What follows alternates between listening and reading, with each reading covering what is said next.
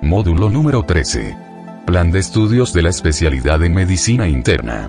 Generalidades de la geriatría. Atención al anciano. Una revisión realizada en el Hospital Clínico Quirúrgico Docente Miguel Enríquez.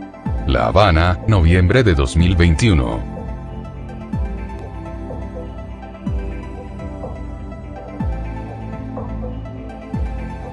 Contenido.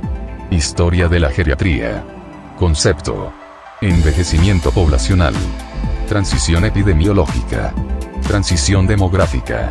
Índice de carga. Envejecimiento poblacional en Cuba y sus consecuencias.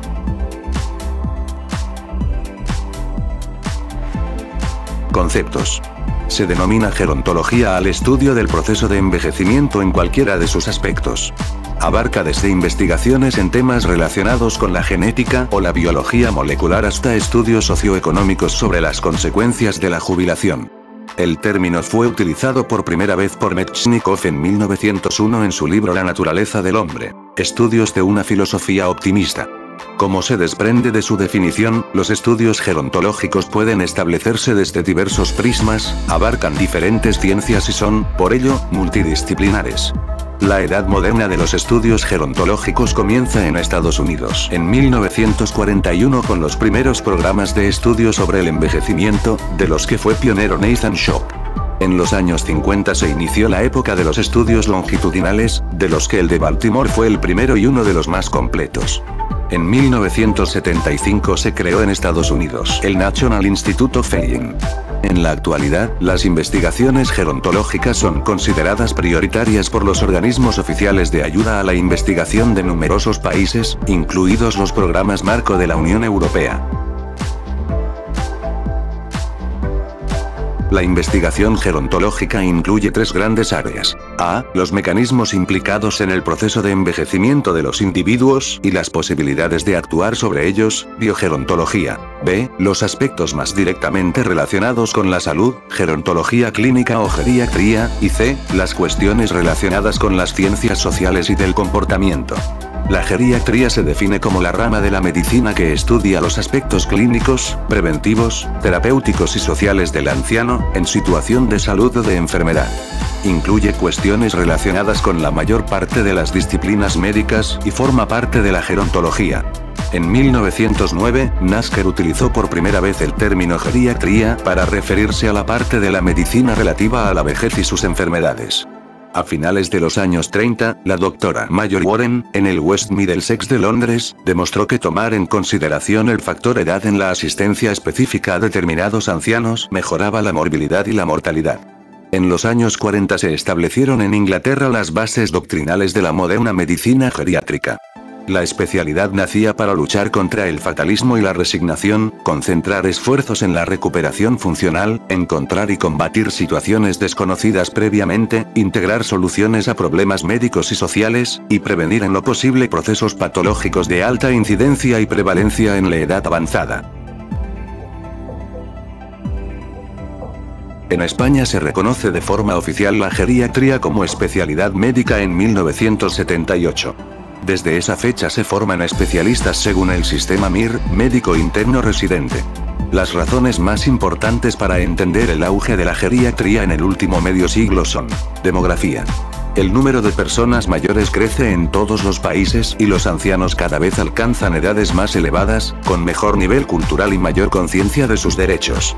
Además, forman el colectivo que presenta más enfermedades, con un mayor grado de complejidad y más relacionadas con su situación social. Razones socioeconómicas.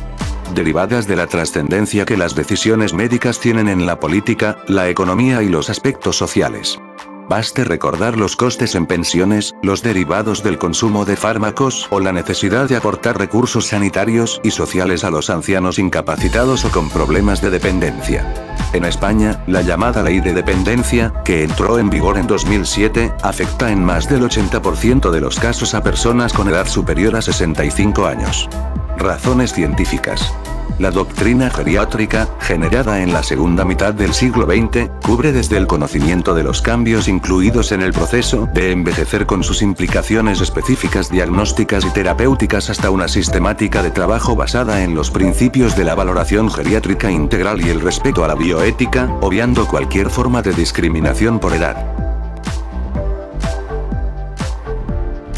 El máximo beneficio de la geriatría se centra en torno al grupo de los llamados ancianos frágiles. Son aquellos ancianos cuyas pérdidas en lo que se conoce como reserva funcional van más allá de lo normal y, por ello, resultan especialmente vulnerables ante la enfermedad y los problemas psicosociales. Numerosas aportaciones médicas nacidas de la geriatría han sido exportadas a otras especialidades entre ellas. A. La lucha contra la inmovilidad. El lemavadisbat fue introducido por Cosan en 1947. B. El trabajo multi e interdisciplinar abierto a profesionales no médicos, puesto en marcha por esas mismas fechas. C. El desarrollo de la ortogeriatría. D. Los hospitales de día desarrollados por la geriatría británica a partir de 1950 y extendidos a otro gran número de especialidades médicas y quirúrgicas. E. La planificación de los cuidados progresivos y de los programas de atención domiciliaria. F. La creación de las unidades de memoria por Exton Smith en 1953, y G. Las unidades de ictus, introducidas en medicina por Bernard Isaac en 1972.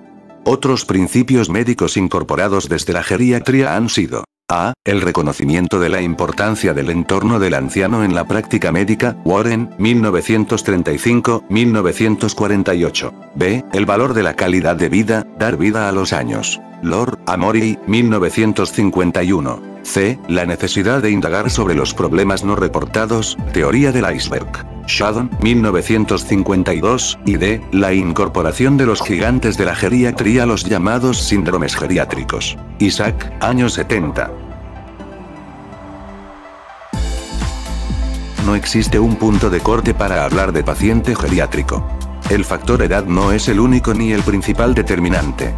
Cuestiones como la multimorbilidad, los problemas funcionales físicos o mentales, la labilidad social y el potencial rehabilitador físico, social y psicológico deber ser tenidos en cuenta.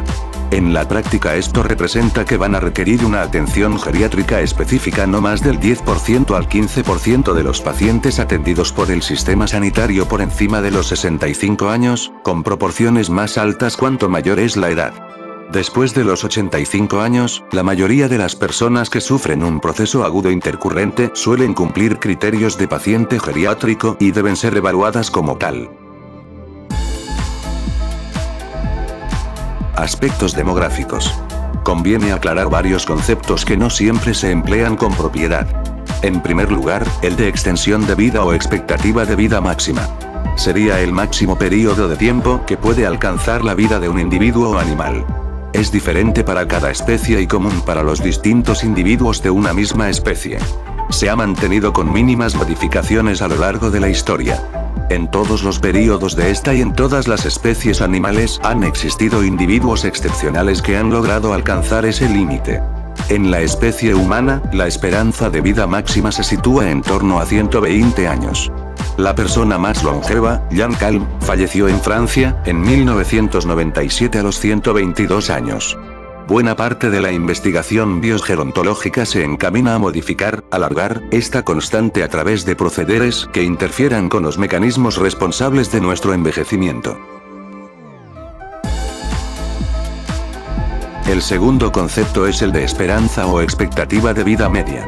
Alude al periodo de tiempo que, con criterios estadísticos, puede vivir previsiblemente un individuo a partir de un momento determinado, el de su nacimiento o el de otra edad cualquiera.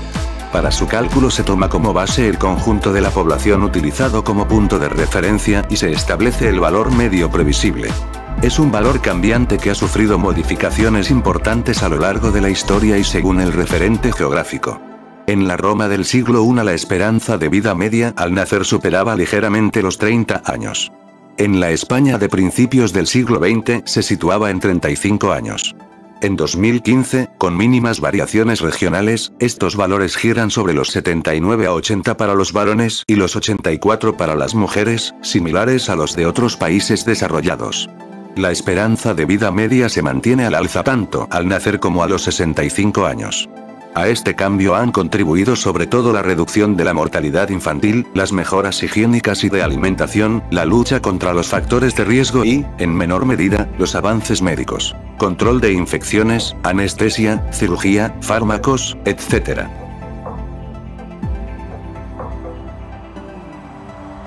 Figura 154, 1. Evolución de la esperanza de vida al nacer en España. Datos tomados de las tablas de mortalidad del Instituto Nacional de Estadística. Actualizados a 20 de mayo de 2015.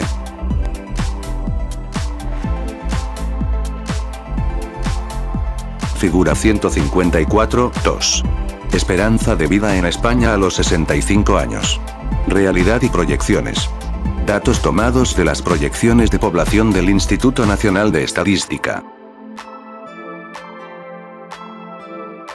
Otros dos conceptos importantes son los de esperanza de vida independiente y esperanza de vida dependiente, según el individuo sea o no capaz de valerse por sí mismo o requiera la ayuda de terceros.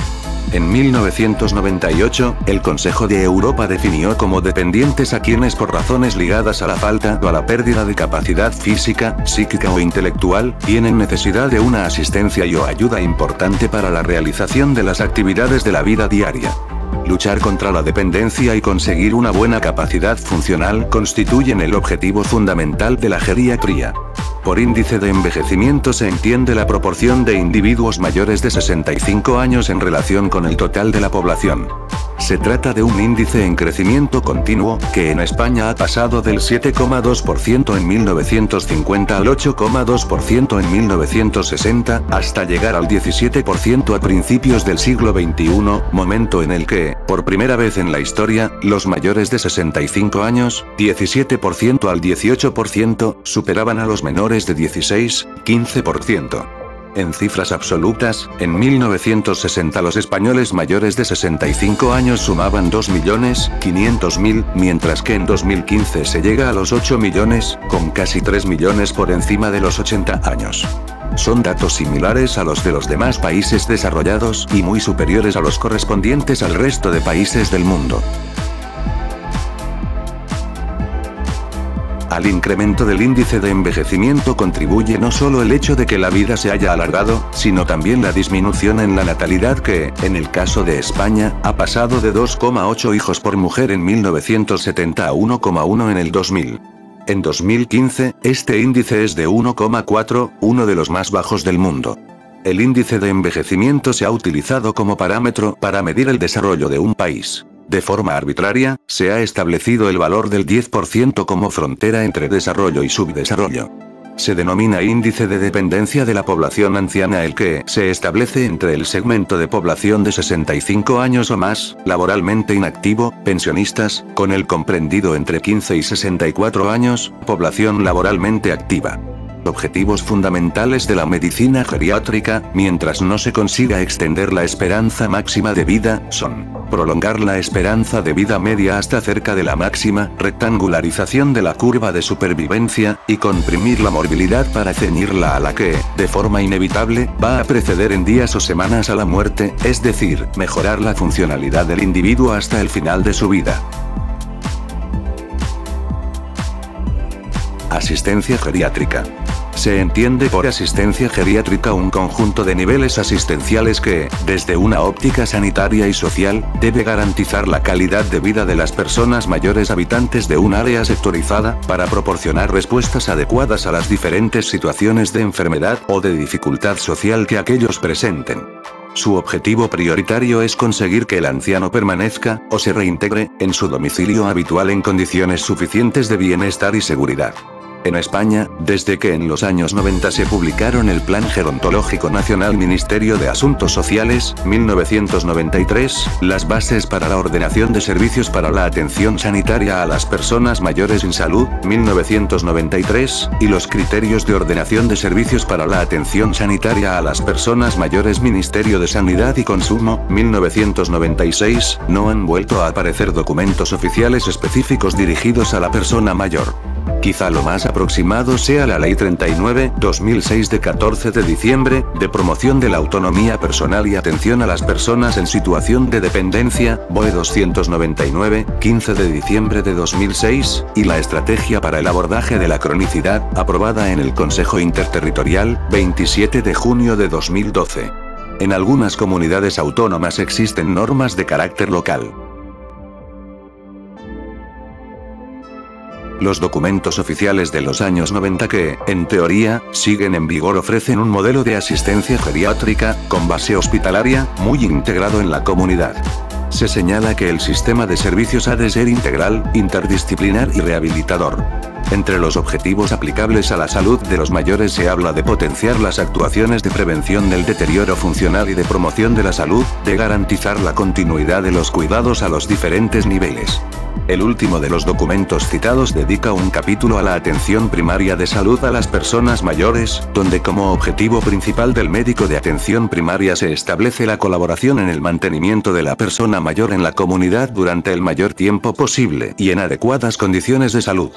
Otros documentos importantes son las recomendaciones del Consejo de Europa, 1985, de las Asambleas Mundiales sobre el Envejecimiento, Viena, 1982, y Madrid, 2002, el Silver Paper de la Comisión Europea correspondiente, 2009, las recomendaciones de la Sociedad Española de Geriatría y Gerontología, 1986, 2000 y 2005, y las del Defensor del Pueblo, 2000. Todos coinciden en que la organización debe ser integral, con objetivos preventivos, asistenciales, rehabilitadores y sociales.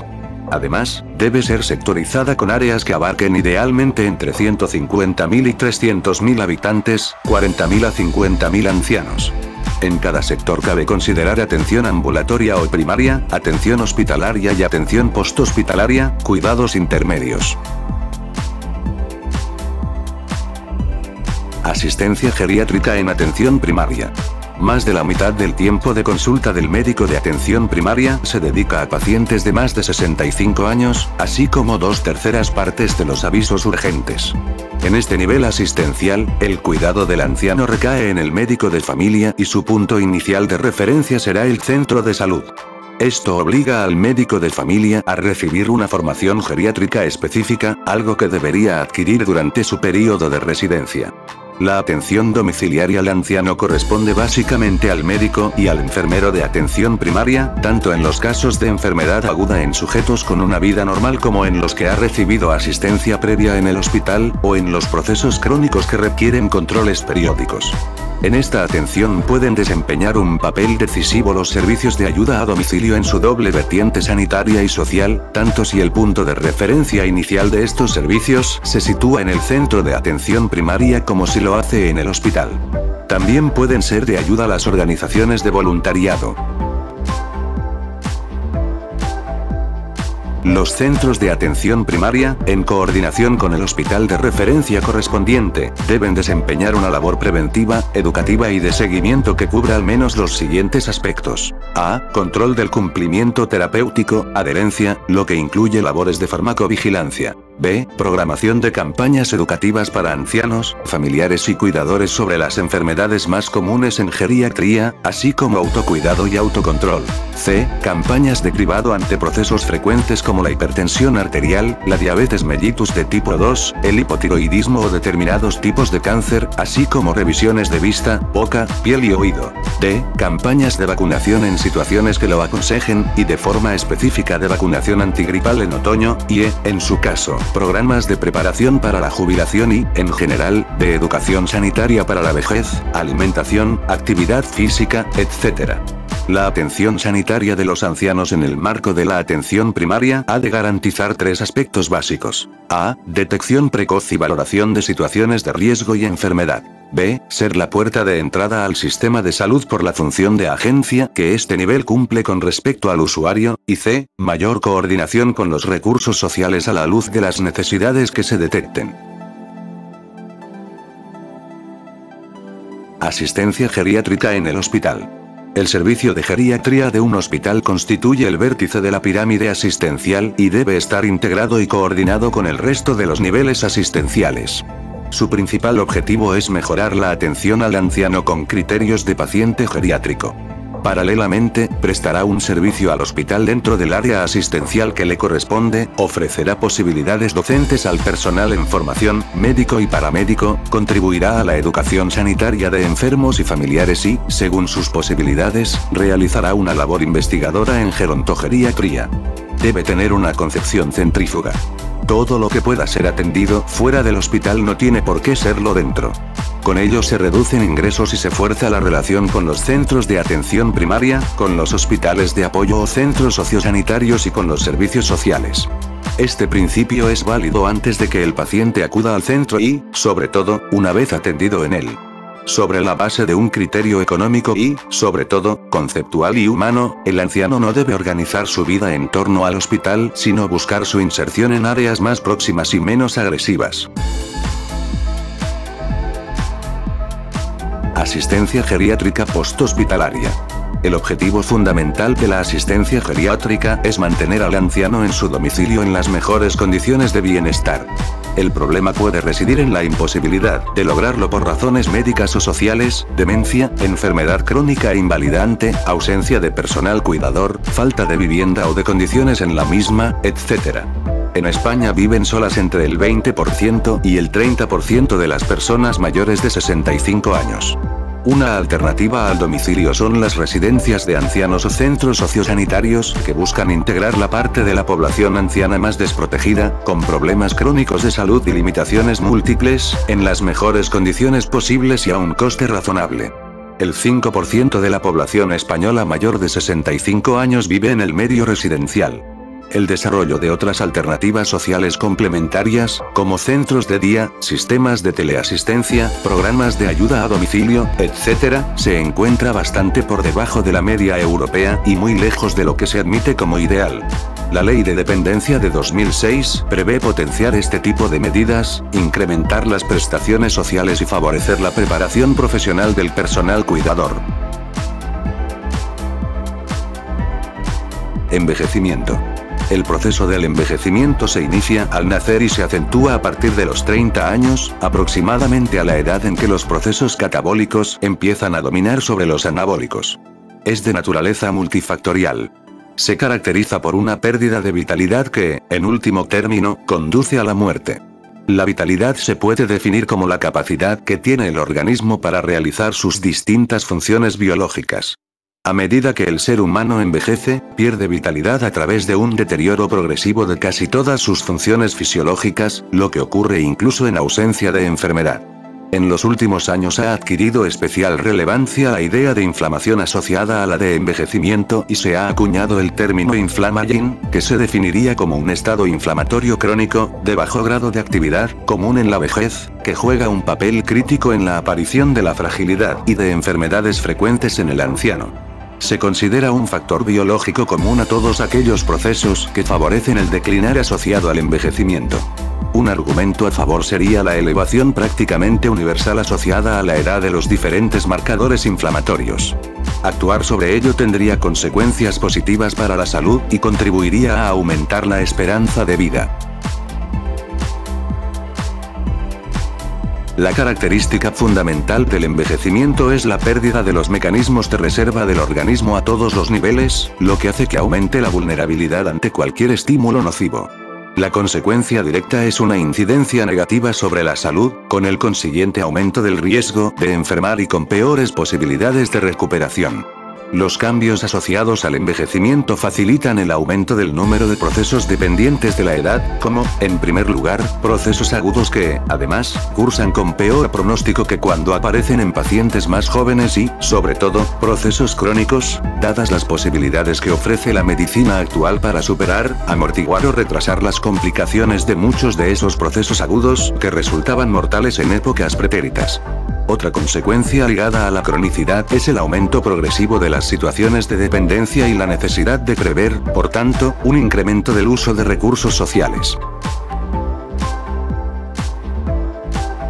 Las pérdidas asociadas al envejecimiento se producen por diferentes vías. En primer término, por el mero paso del tiempo. Se habla, en este caso, de envejecimiento primario o de pérdidas fisiológicas, condicionadas por nuestra carga genética. Los cambios vinculados al envejecimiento primario se integran en el acrónimo CUPID, que implica que son A. Cumulativos, se acumulan e incrementan a lo largo de la vida. B. Universales en todos los sentidos. Afectan a todos y a cada uno de los componentes del organismo y también a todas y a cada una de las personas. La única variedad viene dada por la cadencia en la que aparecen, distinta de unos individuos a otros y diferente también entre los propios componentes orgánicos de un mismo individuo. C. Progresivos, graduales en su tiempo de aparición. D. Intrínsecos, es decir, que se manifiestan haya o no influencias externas vinculadas al envejecimiento secundario, y E. Pues generan daño y reducen de forma progresiva la capacidad funcional del individuo. Junto a las anteriores aparecen las pérdidas debidas al envejecimiento secundario, responsables del 75% del total del deterioro asociado a la edad son, por una parte, las secuelas de procesos patológicos previos, enfermedades, cirugía, accidentes, etc., y, por otro, las consecuencias del estilo de vida del individuo, que incluyen factores ambientales acumulados, tanto médicos como sociales. Es importante destacar que no es lo mismo envejecer que enfermar, la equiparación de ambos términos es una idea equivocada pero extendida en la sociedad, por más que, como es lógico, la vejez se acompañe de un mayor número de enfermedades. En el proceso de envejecer se producen cambios muy importantes en los planos morfológico, fisiológico, funcional, psicológico y social. Son cambios con repercusión directa en la valoración semiológica, los síntomas y los signos físicos no se manifiestan de la misma forma ni por las mismas causas que en el adulto joven, la fisiopatología de sus enfermedades, la actitud diagnóstica y el tipo de decisiones terapéuticas, tanto farmacológicas como no farmacológicas, que deben ser tomadas. La geriatría obliga, además, al conocimiento de algunos procesos inhabituales para otras edades, como los llamados síndromes geriátricos, con un énfasis especial en todo lo relativo a la función en sus vertientes física y mental. Aporta así una visión integral del conjunto de las enfermedades que contempla aspectos sociales, de capacidad y de comportamiento. La prevalencia de muchas enfermedades aumenta con la edad, como la de infecciones, cáncer, enfermedades cardiovasculares, a la cabeza están la insuficiencia cardíaca, la enfermedad coronaria y la hipertensión arterial, enfermedades degenerativas neurológicas, vasculares u osteoarticulares, diabetes mellitus, enfermedad respiratoria obstructiva crónica, etc. Aparecen los llamados síndromes geriátricos, caídas, incontinencia urinaria, inmovilidad, desnutrición, etc., cuyas peculiaridades específicas semiológicas, diagnósticas y terapéuticas es necesario conocer. Con mayor frecuencia que en el joven, se ven comprometidos otros órganos y sistemas en el curso de sus enfermedades y concurre más de un proceso mórbido, multimorbilidad. Finalmente, cada vez en mayor medida, estas situaciones están moduladas por problemas sociales, económicos, soledad, incapacidades, etc., psicológicos y de comportamiento, actitud ante la vida, deterioro mental, etc., y aumenta la necesidad de tener en cuenta factores como la rehabilitación, la reinserción social, etc. Tipos de cambios con el envejecimiento. Pérdida total de determinadas funciones. El ejemplo más claro es la pérdida de la capacidad reproductora en la mujer después de la menopausia. En menor medida y de forma más tardía e irregular, esta pérdida también ocurre en el varón. Cambios funcionales secundarios a otros estructurales. Son los más comunes y, en menor o mayor grado, afectan a todos los órganos y sistemas. Como norma, las alteraciones funcionales siguen a las pérdidas anatómicas, aunque no siempre está claro que este sea el orden y no el inverso. Muchas de estas pérdidas pueden suplirse parcialmente durante un tiempo a través de los mecanismos de reserva fisiológica del organismo. Un ejemplo podría ser la pérdida progresiva en el funcionalismo renal secundaria a la disminución de la población de nefronas que se debe probablemente, al menos en gran medida, como en el caso de otros parénquimas nobles, a la reducción del flujo vascular del riñón. Pérdidas o limitaciones funcionales sin alteraciones estructurales demostrables. Muy raras. Un ejemplo es el de la reducción en la velocidad de conducción de la fibra nerviosa periférica sin acompañamiento de cambios morfológicos detectables en el nervio. Cambios secundarios a fallos o interrupción de los mecanismos de control. Como ejemplo, cabe citar el aumento en los niveles de gonadotropinas en la mujer debido al sistema de contrarregulación cuando, tras la menopausia, hay una caída en la producción de hormonas sexuales. Otro sería la peor respuesta de los varoreceptores, lo que contribuye a explicar la facilidad para la hipotensión ortostática en los ancianos. Lo mismo sucede con los quimioreceptores o con los receptores cutáneos. Otros sistemas reguladores, como los de la termorregulación, la neurotransmisión y los sistemas superiores de regulación endocrina y metabólica, también sufren pérdidas con el envejecimiento. Respuestas por exceso con aumento de la función. Se producen en raras ocasiones. Se observan algunos ejemplos en el sistema endocrino, como el aumento de secreción de hormona antidiurética como respuesta a las modificaciones con la osmolaridad. Cambios que solo trascienden en circunstancias no basales, cuando se produce un aumento de la demanda. Son muy típicos en los órganos de los sentidos. La presbicia es la limitación para la visión de cerca, que se manifiesta en la lectura cuando la letra es muy pequeña o el texto está muy próximo. Algo similar sucede con la presbiacusia, que solo se manifiesta cuando la intensidad del sonido se reduce considerablemente. Otro cambio comparable se da en la frecuencia cardíaca, que se mantiene prácticamente inalterada en reposo pero que, con el ejercicio, es incapaz de alcanzar las altas frecuencias que pueden lograrse en los individuos de menor edad. Todas las circunstancias señaladas favorecen la aparición de fragilidad, concepto que se define como una reserva orgánica escasa asociada a un elevado riesgo de vulnerabilidad. La configuración general del cuerpo durante el envejecimiento muestra una pérdida de estatura, un centímetro por década aproximadamente, a partir de los 40 a 50 años, que se atribuye a la pérdida de masa ósea y la consiguiente reducción en la altura de los cuerpos vertebrales.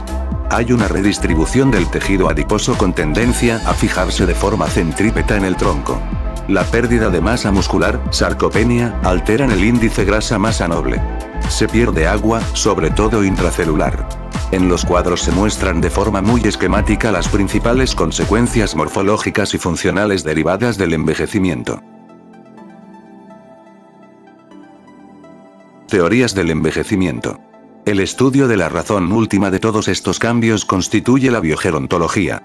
Para estudiar el envejecimiento humano se recurre a diferentes modelos, entre ellos, al animal, biogerontología experimental, a estudios en humanos, morfológicos o funcionales, transversales o longitudinales, a observaciones clínicas, a estudios sobre el envejecimiento celular, citogerontología, etc. Este asunto ha apasionado a la ciencia desde hace más de un siglo. En 1881, Augusto Weismann ligaba la muerte de las células a su incapacidad para reduplicarse de forma indefinida. El propio Weismann o Alexis Carrel, en el primer tercio del siglo XX, con su teoría de la inmortalidad celular, aparecen vinculados inevitablemente a cualquier estudio en este terreno. Desde 1961, merced en parte a Hayflick, existe evidencia de que ninguna población celular humana o animal es inmortal. Es decir, es incapaz de autorreproducirse en cultivos seriados continuos in vivo o in vitro hasta un mínimo de 100 duplicaciones durante un mínimo de dos años. El fundamento de la moderna citogerontología estriba en el principio de que el origen de los cambios en el proceso de envejecer en los organismos multicelulares solo puede deberse a trastornos en el seno de una célula individual, cambios en los componentes de la matriz extracelular o modificaciones debidas a la influencia que células con un alto grado de organización jerárquica puedan ejercer sobre otros tejidos u órganos. En los últimos años se presta gran interés a la célula grasa como modelo para el estudio del envejecimiento celular. Sobre esta base, se considera que se trata de un proceso en el que se produce sucesivamente una pérdida en la absorción de triglicéridos y en la actividad lipogénica, lipolítica y oxidativa de la célula. Todo ello guardaría una buena correlación con el progresivo declive de la síntesis proteica y de su sensibilidad a hormonas, mediadores y otros factores. Numerosas teorías pretenden explicar el porqué del proceso de envejecer. Todas tienen cierta base pero ninguna reúne la suficiente para ofrecer por sí sola una explicación unitaria y satisfactoria. Las teorías se suelen agrupar en bloques. Una clasificación es la que las divide en estocásticas y no estocásticas. Según las primeras, los procesos que determinan el envejecimiento ocurren de modo aleatorio y se acumulan en el tiempo como consecuencia de las agresiones del medio ambiente, hasta alcanzar un nivel incompatible con la vida. Para las segundas, el proceso de envejecer se establece de acuerdo con normas predeterminadas.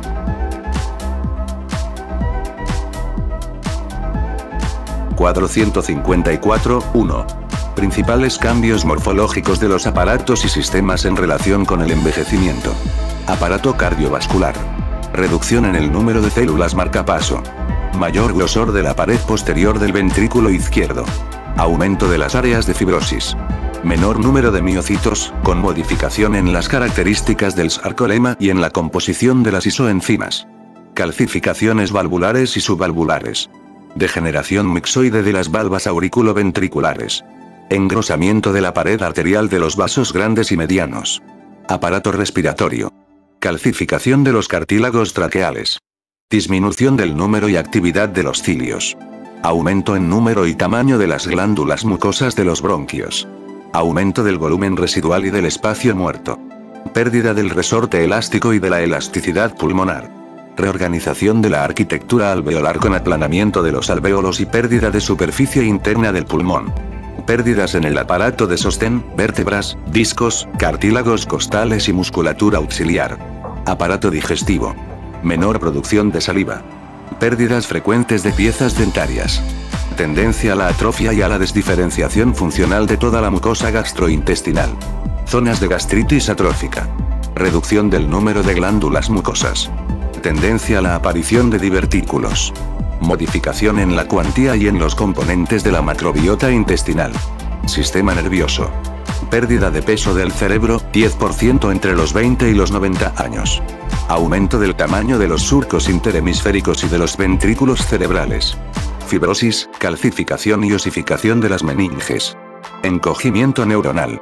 Fenómenos de neuroplasticidad, neoconexiones dendríticas. Cambios en la membrana citoplásmica de las neuronas.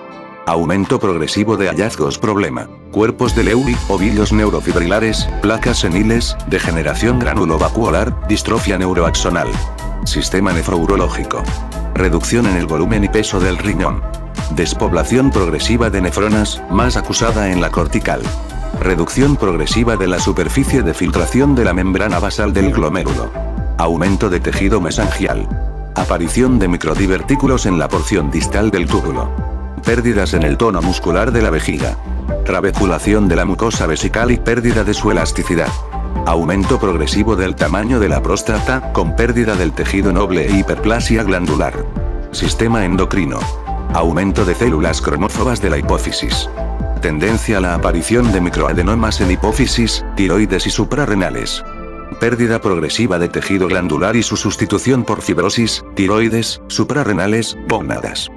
Pérdida de islotes de Langerhans del páncreas, sustituidos por otros en número menor pero de mayor tamaño. Sistema hematológico. Reducción a un tercio de la superficie medular activa entre los 20 y los 70 años. Mayor segmentación nuclear y granulación citoplasmática de los leucocitos neutrófilos. Sistema osteoarticular. Pérdida de masa ósea, con tendencia a la osteopenia y a la osteoporosis. Cartílago articular. Menor elasticidad, con superficie más fina y friable. Aparición de pequeñas fisuras. Pérdida de viscosidad del líquido sinovial. Aumento de la rigidez de los tendones. Piel.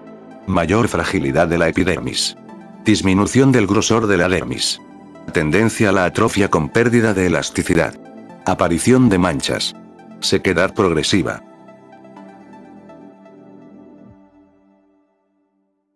Cuadro 154, 2. Principales cambios fisiológicos funcionales de los distintos aparatos y sistemas en relación con el envejecimiento. Aparato cardiovascular.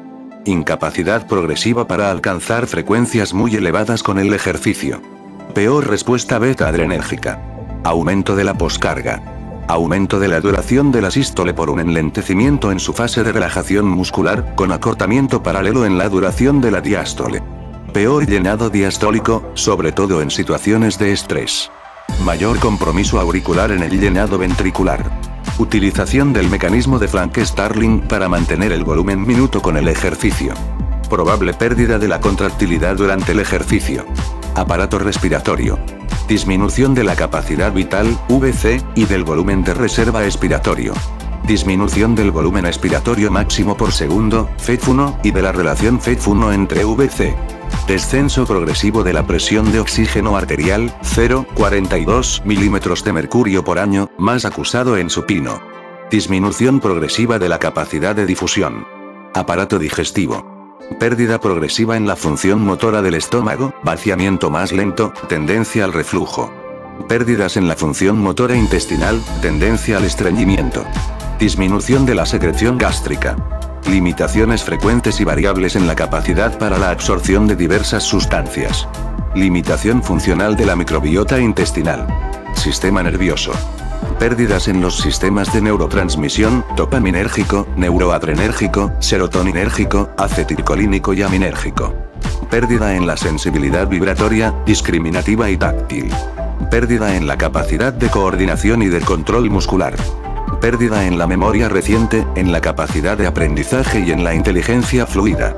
Reducción en la cuantía e intensidad del sueño y aumento en los despertares nocturnos. Pérdida en la adaptabilidad al medio. Sistema nefrourológico. Reducción del flujo renal, 10% por década. Aumento de la fracción de filtración. Disminución progresiva de la cuantía del filtrado y del aclaramiento de creatinina. Disminución en la capacidad para concentrar y, posteriormente, diluir orina. Aumento en el umbral de reabsorción de glucosa. Disminución en la capacidad para reabsorber sodio. Pérdida en la capacidad funcional de la vejiga. Pérdida de la actividad secretora del epitelio prostático. Aparato genital. Pérdida de la capacidad reproductora, absoluta en la mujer tras la menopausia y progresiva en el varón. Limitación progresiva en el varón de la capacidad de erección y de eyaculación, con aumento del período refractario tras la actividad sexual. Mantenimiento de la libido en ambos sexos, con modificaciones en su forma de expresión. Sistema endocrino. Cambios de comportamiento y respuesta de la ADH, la hiponatremia es frecuente en el anciano. Aumento en la producción de hormona estimulante del folículo y hormona luteinizante por reducción en la producción y secreción de hormonas sexuales. Modificaciones en el comportamiento de hormona del crecimiento y prolactina. Menor producción y eliminación de T3 y T4, manteniéndose sus concentraciones séricas sin cambios. Menor producción y eliminación de cortisol, manteniéndose sus valores séricos menor producción de aldosterona y de renina. Aumento de la resistencia periférica a la insulina. Aumento de los niveles de los péptidos natriuréticos. Menores niveles de vitamina D, menor producción de eritropoyetina. Hormonas gastrointestinales. Mayor actividad de glucagón, CCK y lectina. Menores niveles de gastrina y de grelina. Sistema hematológico. Discreto descenso en la actividad hematopoyética. Menor capacidad bactericida de los neutrófilos. Moderados cambios cualitativos en la función linfocitaria. Pérdidas en la hemostasia primaria por aumento de la fragilidad capilar. Sistema osteoarticular. Disminución en las propiedades elásticas del cartílago articular. Disminución de la capacidad del cartílago para soportar sobrepeso sin presentar fisuras y erosiones. Limitación de la capacidad funcional de los tendones. Piel. Menor protección ante las agresiones, solo microorganismos. Mayor facilidad para las heridas ante pequeños traumatismos. Teoría de los radicales libres o de la peroxidación. Enunciada en 1956 por Harman, propugna que los radicales libres que se forman durante el proceso oxidativo del metabolismo normal reaccionan con los componentes celulares para originar la muerte de células vitales y, finalmente, el envejecimiento y muerte del organismo. Los radicales libres son muy reactivos, lo que los convierte a su vez en fuente de nuevos radicales, y da lugar a una cadena que conduce al consumo de muchas moléculas estables. Todas las células del organismo son susceptibles de sufrir este proceso.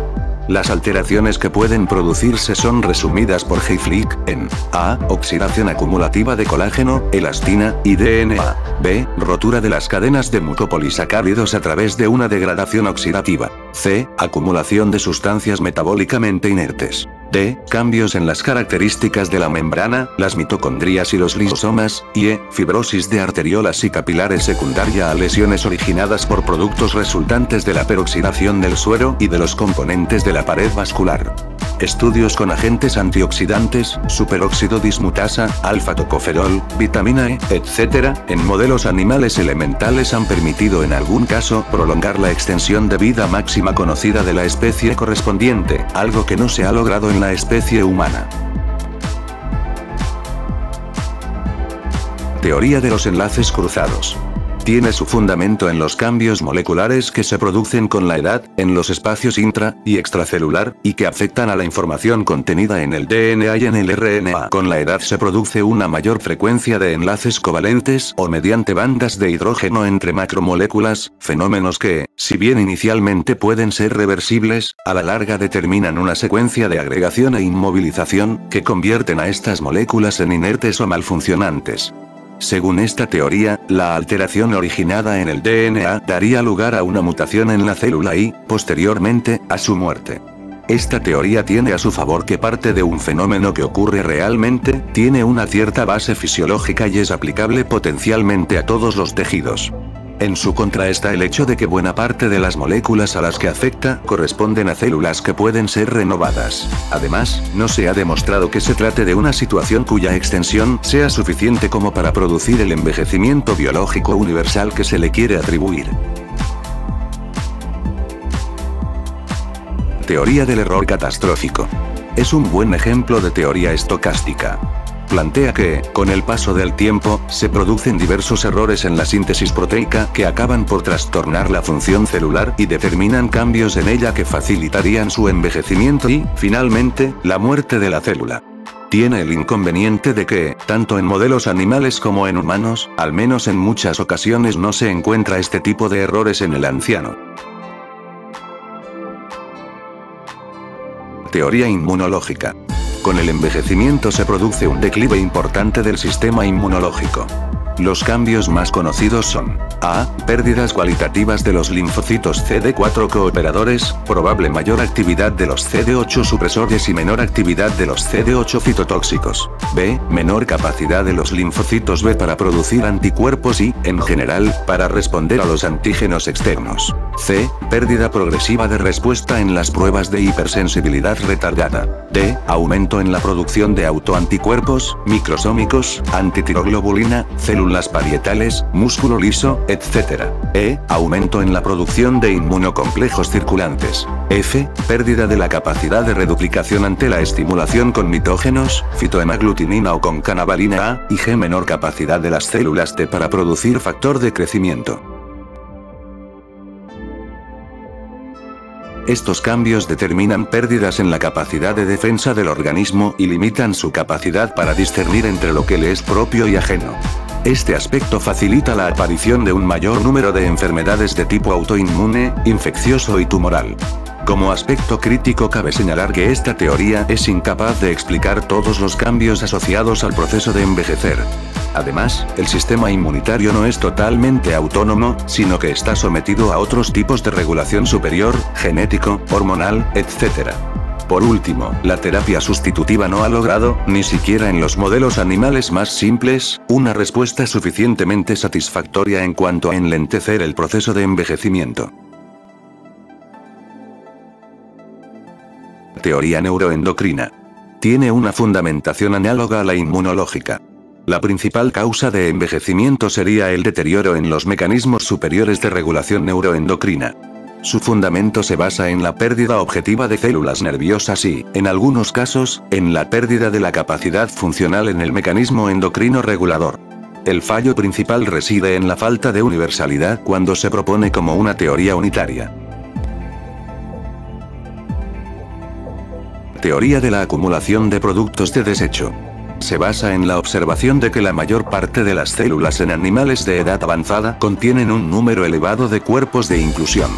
Son productos de degradación metabólica que actúan como agentes patógenos para la propia célula, alteran su metabolismo y aceleran su destrucción. Las más comunes de estas sustancias son la lipofuscina y la resultante de la degeneración basófila. No parece que ni ellas ni ningún otro cuerpo de inclusión desempeñen funciones activas en el proceso de envejecer. La presencia de lipofuscina se interpreta como resultado de reacciones oxidativas, incrementada en los casos de déficit de vitamina E, y como un mero marcador indirecto de envejecimiento. Teoría del acortamiento del telómero se basa en la pérdida progresiva de secuencias teloméricas en las partes distales del cromosoma que tiene lugar a lo largo del tiempo. Es un fenómeno que se ha observado en sujetos con progeria, una forma patológica de envejecimiento acelerado. Los intentos para impedir este acortamiento telomérico han tenido hasta ahora poco éxito. Teorías basadas en mecanismos genéticos. Constituyen el prototipo de las teorías no estocásticas. Entre ellas cabe incluir las hipótesis de la programación genética, la mutación somática y el error genético. Todas parten del supuesto de que la longevidad de una determinada especie y de sus individuos está predeterminada en parte por mecanismos genéticos. A su favor juega una cierta correlación en cuanto a la longevidad que se observa entre individuos de la misma familia o la longevidad equivalente descrita en gemelos univitelinos el individuo nacería con una secuencia de envejecimiento escrita, programada, en su genoma que le adjudicaría una máxima extensión de vida. Las circunstancias ambientales y la patología acumulada limitarían en mayor o menor medida esa programación. Para otros autores, el acúmulo de un nivel significativo de mutaciones en las células es la responsable de las pérdidas fisiológicas características del hecho de envejecer. Esta teoría tuvo un gran predicamento en los 20 años siguientes a la Segunda Guerra Mundial, siguiendo la idea de que las radiaciones ambientales podían originar alteraciones genéticas en la célula hasta el punto de alcanzar un nivel crítico que determinaría su muerte. Para los que hablan de error genético, estas mutaciones se derivarían de la pérdida de una secuencia de DNA. En su conjunto, cabe considerar que ninguna de las teorías enunciadas basta por sí sola para explicar el hecho de envejecer. Parece bastante probable que los mecanismos genéticos y las pérdidas inmunológicas, o la producción de radicales libres o de enlaces covalentes, contribuyen en cierta manera a explicar los fenómenos que hoy se conocen e interpretan como constitutivos del proceso de envejecer. En todo caso, la cuestión sigue abierta y así se mantendrá previsiblemente durante mucho tiempo.